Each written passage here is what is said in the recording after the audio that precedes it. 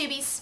I'm going to start my uh, vlog today uh, doing something a little bit different and a lot of you guys want to know uh, more about my practice and more about my herbs and things that I've learned and um, just information basis and so what I'm going to do is uh, try to do uh, videos periodically on different subjects whether it be something that's harmful, harmful for you whether it's something that is uh, really good for you different guidelines and just different things that are help to for you to live a better life and live longer and be healthy and prosperous and all that good stuff. So um, also this kind of helps me out because I am learning all this information and, uh, and this allows me to try to be able to explain uh, the information I know. And you know they always say that if you can teach somebody something you know you know the information yourself. So here we go.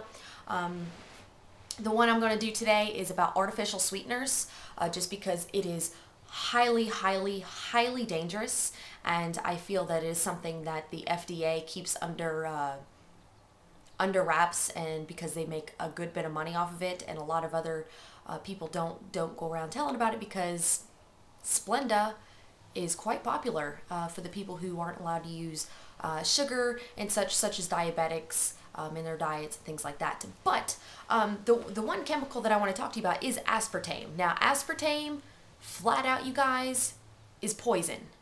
Uh, Splenda and NutraSweet and Equal and Sweet and Low are the most dangerous sweeteners that you can put into your body. Aspartame is poison. I don't know how many times I could say that.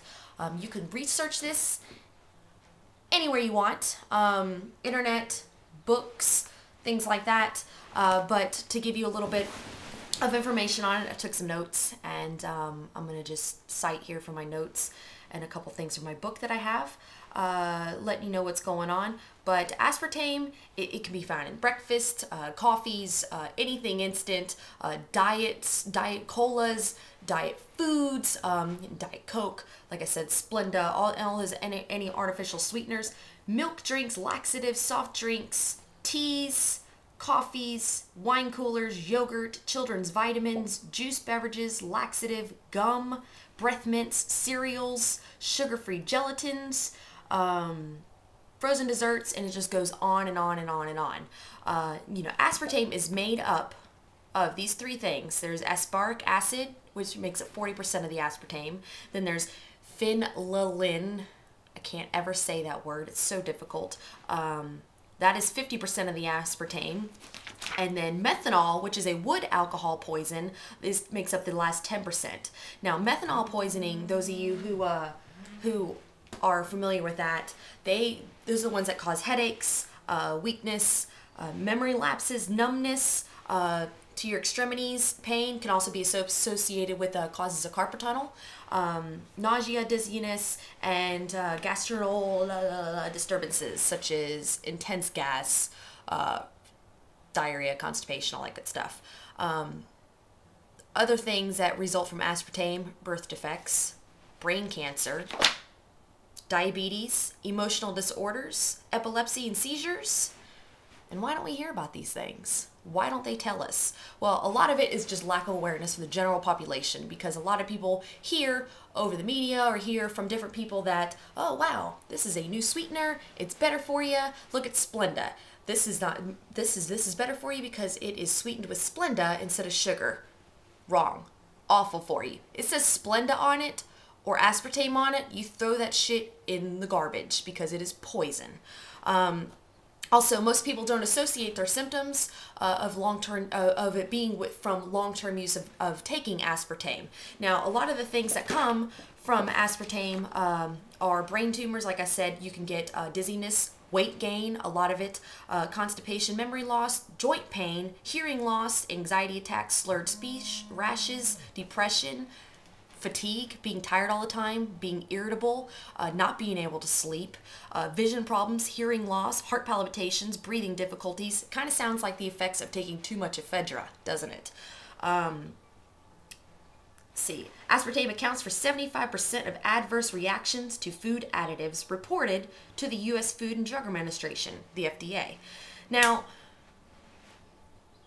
it amazes me on how all this ties in together because the people who um, are diabetic and who are not allowed to use sugar, doctors will let them know that um, they are not allowed to use any sort of sweetener whatsoever unless um, they use a artificial sweetener which contains aspartame but they're trying to tell them to shy away from that now. And any of the you who who do have diabetes and you do go to the doctor and your doctor prescribes you or tells you certain things to put in your diet please make a video response or comment or message and let me know if they do tell you that aspartame is dangerous because i am curious to know um, what the um, outside doctor sources are letting people know who suffer from diabetes. I personally don't um, have connections with anybody who who does, so I can't ask them personally. But you guys in the community um, getting involved in, in us all sharing information together, I find that there's got to be at least somebody out there who suffers from some sort of um, type of diabetes and i just like to know what your doctor says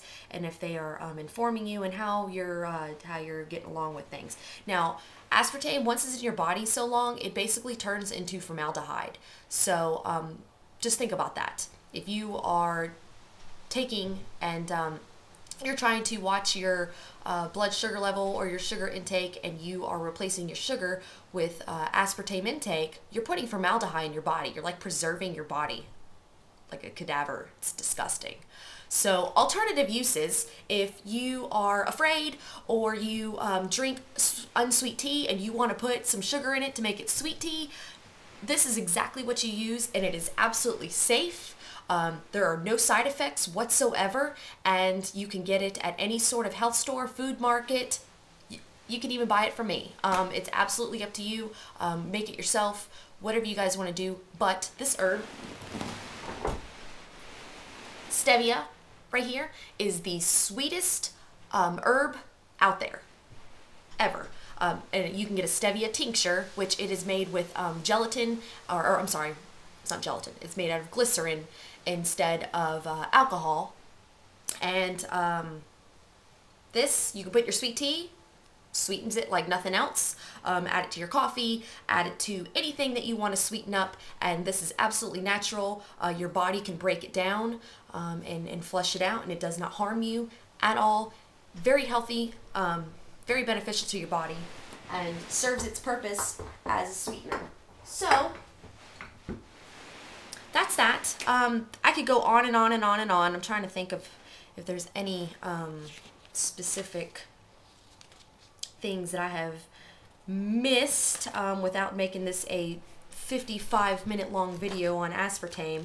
But just basically, to sum it up, you guys, aspartame is poison. It is absolutely dangerous. Um, if you have a question and want to know something about any sort of information or, um, or, or, research information. I have a whole bunch of it here.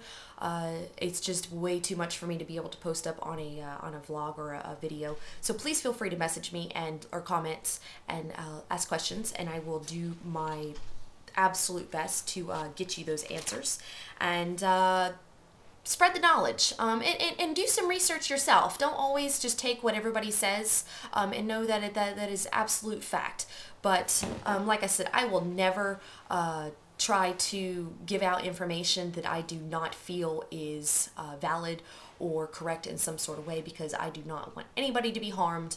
Um, I do not want to be responsible for harming anybody and therefore like I said, I wouldn't give information that I just do not know about. But I know for a fact aspartame is awful for you. So start checking your labels. Do you know, they say um, read the labels of things that you buy. It's really important. And I know it's a pain to sit there and every product you get, turn it over and read all the facts. But when you're looking for something specific, you don't have to cut out every single thing out of your diet. But if you know that you're putting a poison in your body, just like just like the people who drink um, bottled water now instead of tap water. Now, tap water, yeah, it is bad for you. Um, but I still drink it. There's certain things that um, I will drink too much bottled water for you is actually bad. And then there is um, even some bottled water companies who don't uh, go against certain regulations like they should. And there's arsenic and other things that are bad for your body. But you can do um, you can moderate what you put in your body and what not, and what you know is going to make long-term health effects and what is not. Um, and basically, aspartame is responsible uh, for a lot of cancer causing uh, properties and a lot of diabetes causing properties and over a long-term use. If you are you know the same age as me younger or you know a little bit older than me just think every single day that you're drinking that diet coke and you're putting that in your body or your equal or your instant breakfast shake or anything like that, your chewing gum um, that, that is has aspartame in it, you are just putting that chemical in your body, and the longer you do it, the more it accumulates, and you're in for a long, rough road, and you will not be able to live as long as I'm sure a lot of you do. I want to live to be over a 100. I plan on it. That's my goal. Um, so we'll see how things go. Let me know what's up. I hope you guys enjoyed this video. Um, aspartame's the devil.